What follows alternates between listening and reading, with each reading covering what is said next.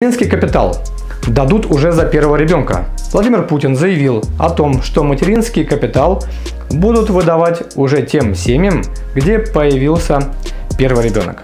Родителям первенца, родившихся с 2020 года, и далее государство заплатит по 466 тысяч рублей. За второго ребенка также будет выплата, но уже в большем размере 616 тысяч рублей.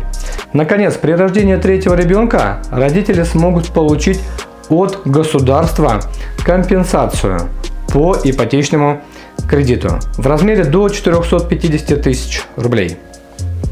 Президент Путин также отметил, что начиная с нынешнего года материнский капитал будут индексировать ежегодно.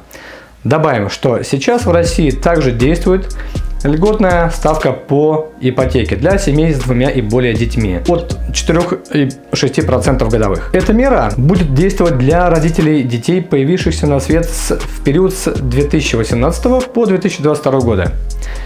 Материнский капитал выдают по всей стране с 2007 года. Это сертификат гарантированной выплате при рождении или усыновлении второго, третьего или последующих детей. Мат-капитал можно направить на оплату ипотечного займа, строительство загородного дома, выплату пая в ЖСК. Также возможно потратить эти средства на ремонт имеющегося жилья или использовать как первый взнос при получении льготной ипотеки под 6% годовых.